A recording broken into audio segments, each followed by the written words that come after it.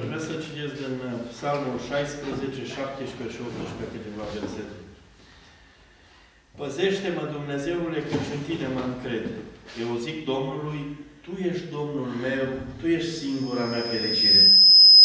Sfinții care sunt în țară, oamenii evlavioși, sunt toată plăcerea mea.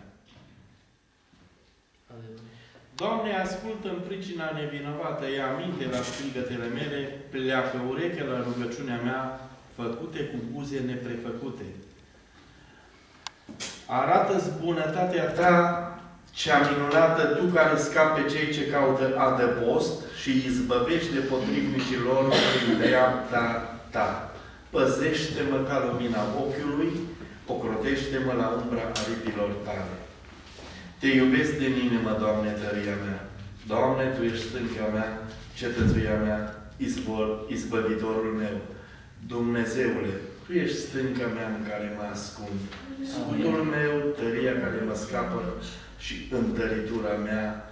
Eu strig lăudat să fie Domnul și sunt izbăvit de vrăjmașii mei. Amin. Nu dacă David a spus că singura lui fericire sfință care sunt țară, dacă am zice noi că sfință care sunt limanuri buni, nu știu câți ar fi. Atâta cât sunt chem.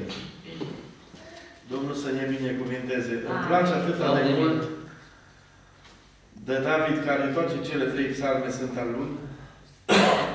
La un moment dat știe că ocrotirea și lui Dumnezeu este atât de benefică pentru noi, încât zice, Doamne, ocrotește-mă ca lumina ochiului. Să, ca lumina ochilor să fiu ocrotită către tine. Și David a făcut scut, a făcut stâncă de adăpost, a făcut întăritură din Domnul Dumnezeu slăvit să-i fie numele Lui. Pentru că știe că îi ascultă și i-a ascultat și ascultă și va asculta rugăciunea peste veacuri acelui ce se încrede în El, acelui ce se încrede în El, să adăpostește la, aripa, la aripile, sub aripile Lui, binecuvântat să fie Domnul.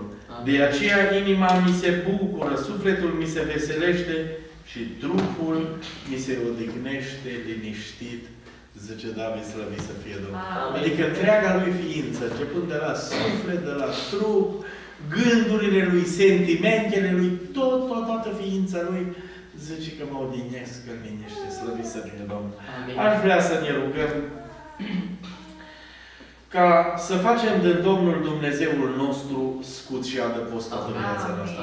Indiferent ce valuri, ce vânturi vor bate în barca vieții noastre, noi trebuie să știm și trebuie să nădăjduim și să credem că dacă ne-am pus nădejdea în Domnul și l-am pus pe El cărmaci la cârma vieții noastre, cu siguranță ne va duce la limanurile cele pe care le-a pregătit pentru fiecare dintre noi. Slăvit să fie Domnul.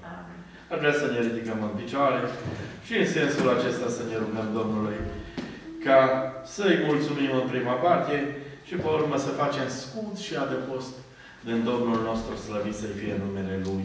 Amin. Amin.